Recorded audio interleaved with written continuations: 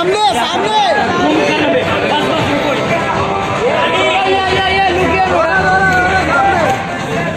Madam जी इधर देखो। रानी रानी look गया